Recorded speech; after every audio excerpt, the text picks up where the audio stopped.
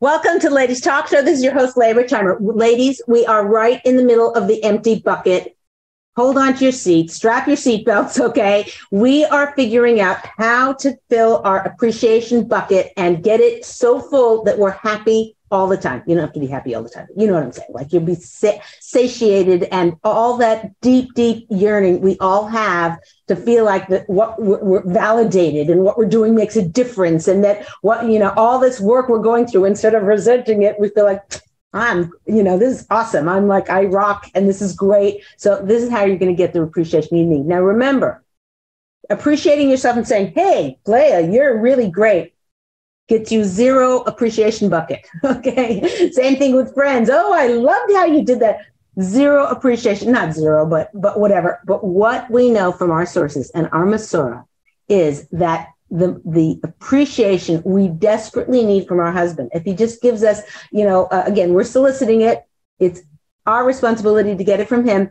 If we get that met, there's a level of contentment that is available in our life and it's not available in any other way. So let's get back into it. We did one, two, and three. Oh, I should give you a little review. Okay, we're on um, Marriage Secrets page uh, 163, strategy four, and I'll tell you what strategy one and two are just for those of you who'd like to be reminded, myself included. One is the prompt method. Remember, that's just, you know, prompting him to say it. The ventriloquist is saying it for him and saying him say, yeah, that's what I meant. Okay. And then number three is ask directly. And number four, drum roll, is the list. Now, this one, for some people, they're going to read this and go, huh, really? That would really work. Believe me, I have had so many emails from my students saying, this is awesome. So this is the list. When you've had a crazy day filled with triumphs and aggravations and feel like no one really cares, get the appreciation you need in the following way. Here's how it's done. Tell your husband, listen, I had a crazy day. I need 10 minutes to download my brain and to vent. All I need for you to do is nod your head. I love this. Okay. Uh, you don't need to step in and fix things. I just need you to appreciate me and understand what I went through and to say, oh, wow, you're terrific at the end of my list. That's all. Okay. And he'll probably say, okay. Your husband might roll his eyes, but he'll be, will likely comply. And if you make it a pleasant experience for him, he'll get used to it and it will make you feel validated for all that you do. Also, your husband may be quite intelligent, but since listening without fixing is not his normal nature, don't be upset if he if you have to repeat these instructions each time. It doesn't matter. It doesn't mean he doesn't care. Listening quietly to problems without speaking does not come naturally to husbands. Okay. With oh, wait a second, I skipped a page. Uh, does not come naturally to husbands page 164. Work hard not to blame him for any of the items on your list, or he will get defensive and the session will end prematurely or unpleasantly. And try to thank him both during and after the session just for listening. Make sure he understands just how much it means to you. And most importantly, try your best to stick to the 10 minute limit so he agrees to do it again the next time. Also, if you feel that it's just not, uh, it's not just appreciation you need, but also some advice, let him know. That doesn't negate the purpose of the conversation, but just make sure, first and foremost, that you get the full appreciation you need in the interaction. Got it, ladies? Yeah? Good. I'm getting thumbs up. Good. Strategy number five by the way, try that one. It's remarkable. You just feel like, like at the end of your day, you're reading the list or whatever, and you just feel great after because, like, oh, it's almost like you know, if nobody knew they happened, then did they? you know, okay. Strategy number five: the prearranged challenge. This one is a game changer for getting your emotions in check. There are certain times when we have a greater need for appreciation than others. For instance, let's say our relationship with our husband's relative is quite challenging. We pack up the kids, go over there, and for three hours we have to act in a certain way that may not be comfortable or natural for us. But for Shalom, we put in superhuman effort.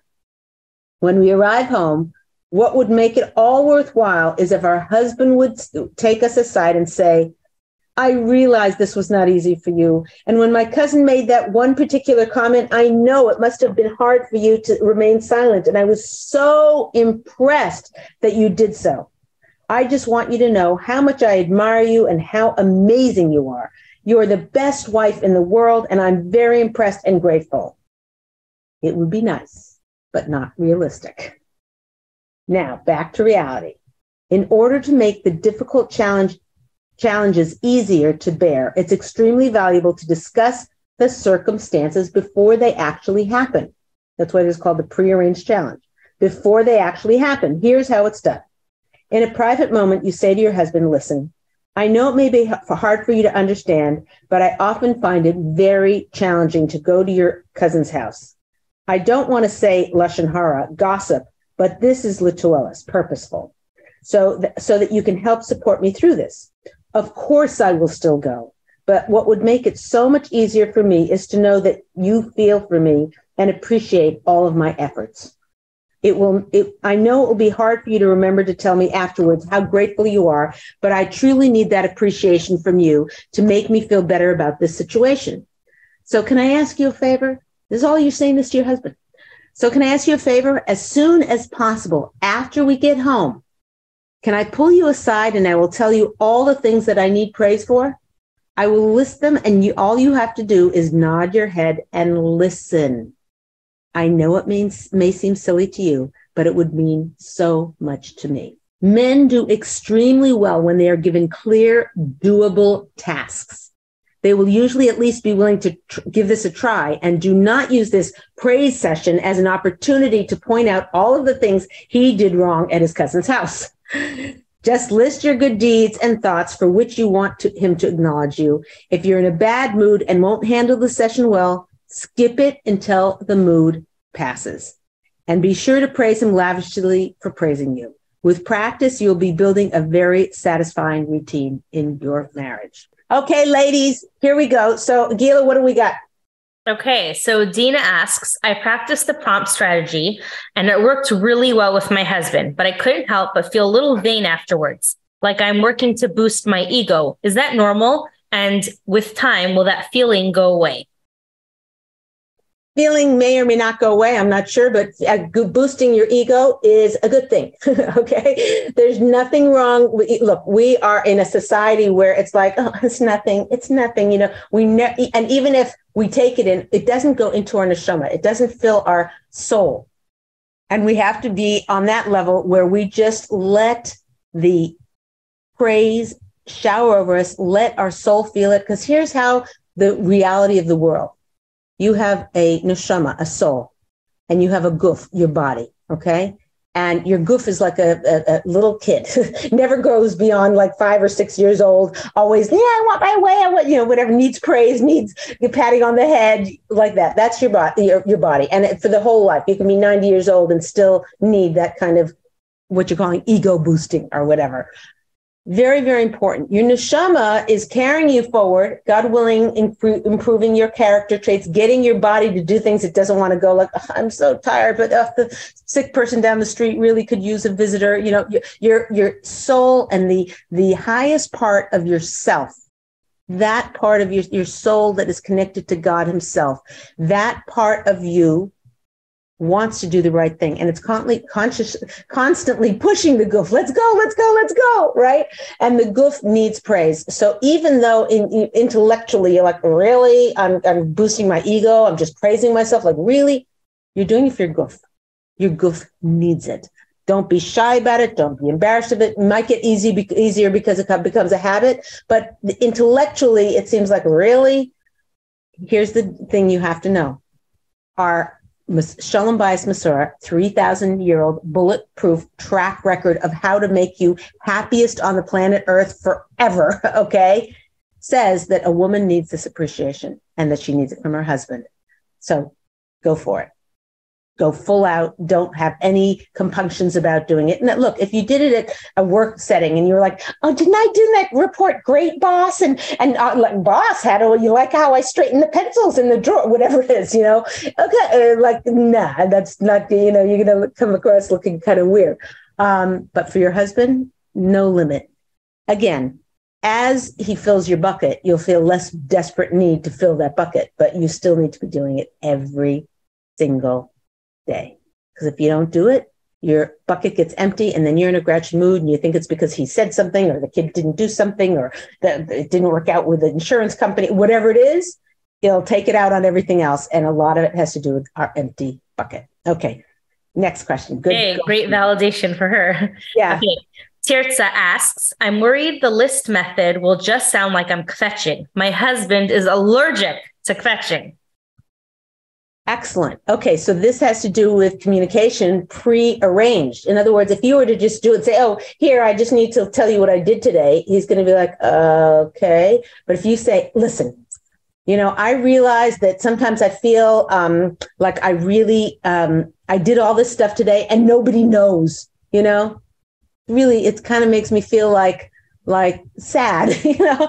So if I just list it out you, I'm not complaining. I'm not saying you should have done it. Or, there's no other goal. There's no other subtext or sub communication that's going on here. This is all from my heart to your heart to let you know. So at the end of it, you can say, I get it. I, you know, I, I need that validation. I know it's ridiculous or whatever, but apparently women need that validation. I think if I just do it, it'll take us five minutes, 10 minutes, whatever, done. And then I'll have this sense of like, oh, okay, you know? So uh, you just need to pre sell them on it. It is awkward. It is weird.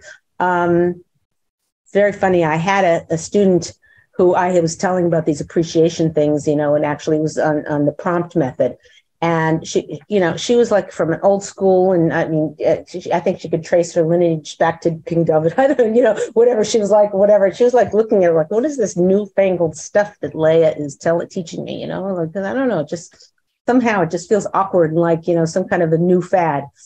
And you know whatever she she told me this after by the way. So uh, she didn't tell me at the time might have hurt my feelings but i don't mind you hurting my feelings because it's not I didn't make this stuff up, you know. Um, I may made up the the uh, procedures, but I didn't make up the deep spiritual need that a woman has because God gave it to us and then He told us. So anyway, so she she went home for um, uh, the the class had a break. Uh, I don't remember what it was. It was for Shabbos or Yontif or something. She went, but she came she came back and she raised her hand in front of the whole class, which was very sweet of her, and she said, oh, "Leah, I want you to know everything you're saying is right. And I'm like, oh, wow, thank you. And she says, no, no, no, you don't get it. I was at the Shabbos table with my bubby. And after we're all eating the soup, and my bubby look, looks up to Zadie and says to him, you know, the soup came out pretty good today, didn't it, dear? And he's like, yeah, yeah, oh, it's delicious. It's delicious. What did you put in there? Right this is her bubby and Zayd. So she, it like validated for her that this is our Masorah. This is how it should be done. And she said, as soon as she heard it, she's like, oh yeah, I recognize that. My bubby does that all the time. So anyway, try this at home. This is one of those things you gotta, you just gotta keep practicing it, trying it. And the list, just tell your husband, even say, I am not complaining. I'm just getting the appreciation I need. Very good. You guys are great, asking great questions. Okay, go ahead, Gail. Okay, beautiful. Love the last line. I'm not complaining, I'm just expressing. Okay. So Shiffy asks I feel like if I use the list method, my husband will tune me out, even if I only do it for 10 minutes. He's not a great listener.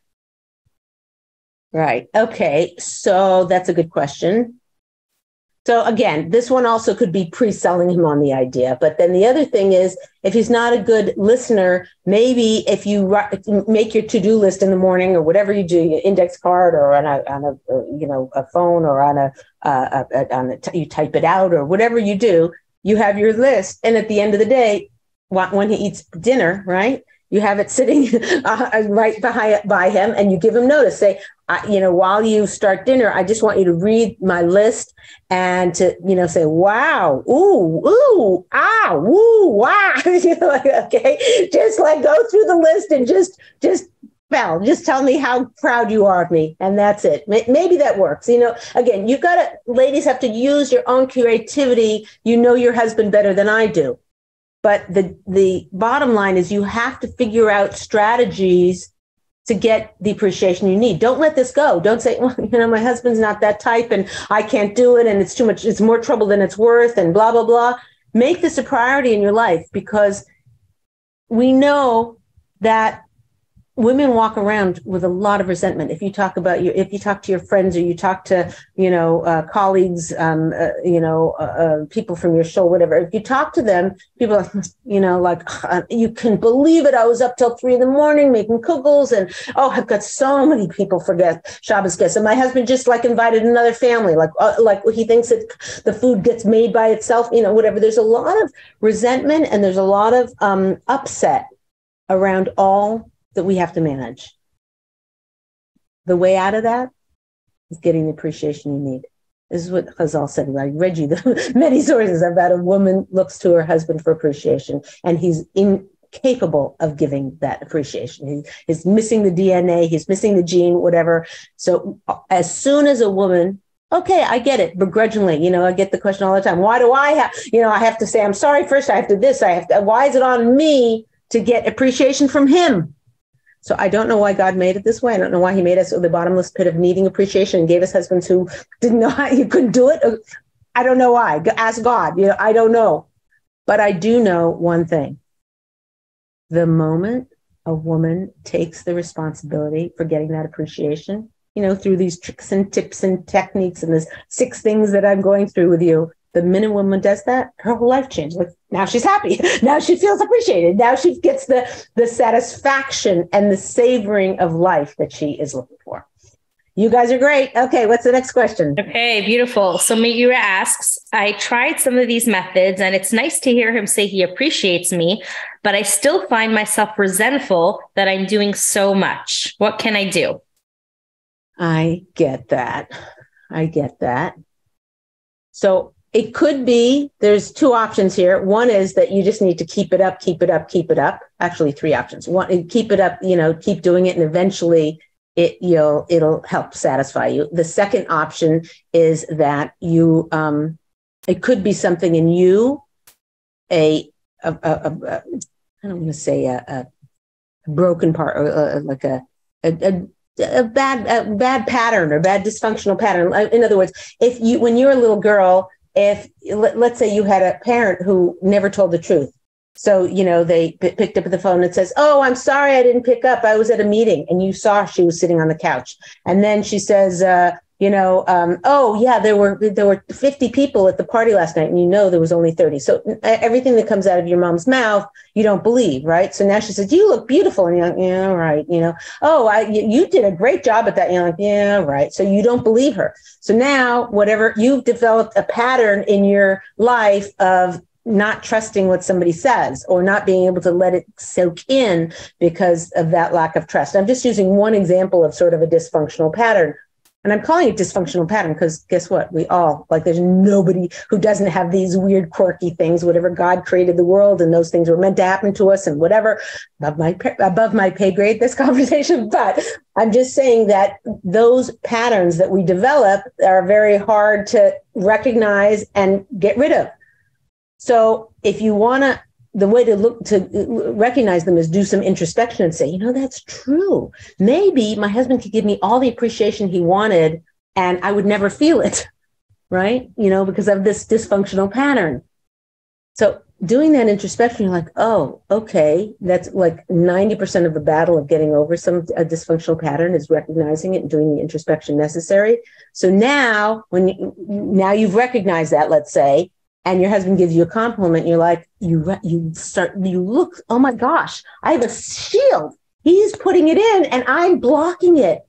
And slowly but slowly, you'll be able to push this down just by practicing staying on purpose about it. And and you know maybe keep a journal or write it down say let appreciation in from now on you don't have to be stuck in the past you don't have to have that pattern and not feel that sense of satisfaction so this is work that you can do in your in yourself and then the third thing that could be stopping this is you just haven't done it long enough. Just keep trying, just keep going for it, just keep, you know, um, soliciting that appreciation, making lists, doing prompt, trying different methods, whatever. Put your focus on it, and Hashem will help you because this is this flow from your husband to you. The husband is the giver, the wife is the receiver. And this flow from this is a Gemara, but also Rav Moshe Cordovero says all bracha comes from Shamayim through the husband that's a conduit and to the wife. So this appreciation that is blocked you know, from a million different ways. Our society tells us we shouldn't, you know, whatever. What do I need approval from him? I get that all the time from women. Sad because we know Chazal tell us women need appreciation from their husband like oxygen. And yeah, the way society rips that to shreds is very, very sad. So a woman doesn't get the appreciation she needs, and she walks around resentful and feeling unfulfilled. So this is a very crucial journey for each woman to take to find out what she needs to do to get the appreciation she needs. And these these tools are just a starting ground. You can make stuff up. You can think, you know what really gets me appreciated when he sets the table for me. I don't know, whatever, you know.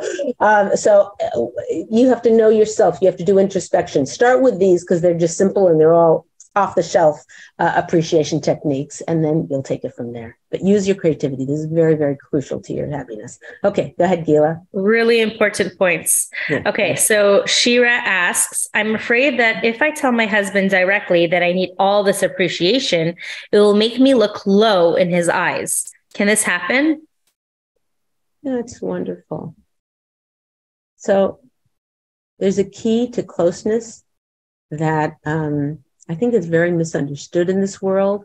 I think, you know, everybody like TMI, too much information, you know, people share everything like embarrassing on, on social media, whatever. Um, uh, and, um, but with the people they love the most, there's a blockage and bricks that they put around themselves, cement bricks, and they, you know, like this you know they they conceal themselves through a wall of bricks and they are afraid to be and this is the operative word vulnerable.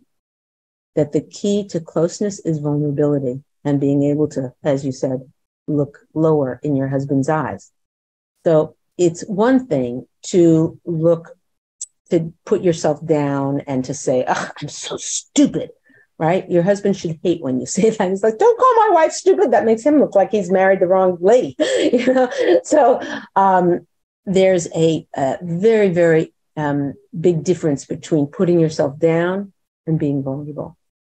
And the being vulnerable to in, in, in with your husband is a, with anyone really is a secret to closeness but you have to be careful because if you you know let's say you're telling your husband you know i'm feeling kind of moody and like like I don't know. I, I, I, you know, I went to this event and I just felt like no one was interested in talking to me. And, you know, uh, he'd be like, Oh, I'm sorry you feel that way. I'm sure it's not true. Whatever. He'll build you back up. Whereas if you say that to, you know, a neighbor or something, they're like, gosh, she's just like all in her head. We're all in all, all in our head. Okay. So you're not alone. You know, we all have those thoughts and those feelings and whatever, and, and it's fine. But, you know, from the outside world, there is a certain, you know, um, you don't need to be vulnerable in front of everybody, but your close friends, there is uh, something to be said for that, and uh, certainly for your husband. So, this thing of looking lower in your husband's eyes um, by needing that appreciation and, and whatever, you can you can say to him, you know, it makes me feel vulnerable, or it makes me feel less than, or it makes me feel like you know something's wrong with me. But I, from my understanding, that's how all women are my understanding is that God created women with a deep need for appreciation. And uh, even though I'm embarrassed to get it and embarrassed to ask for it, I know women need it. So I'm assuming I also need it, or I, you know, I know I need it, you know. So I'm sorry if it's, you know, a little bit different than how our relationship has been or whatever, but I think this is going to make me a lot happier, sweetheart. And I hope you'll be able to work with me on this project I have for getting the appreciation that a woman so desperately needs. And it doesn't mean that for the last 10 years you've been a bad husband. I didn't know I needed it myself. So how could you possibly have known? But now that I know, I'm going to have to do a couple of tricks and techniques and whatever. And, you know, it's going to be uncomfortable for me, but I think it's important for both of us and for our relationship.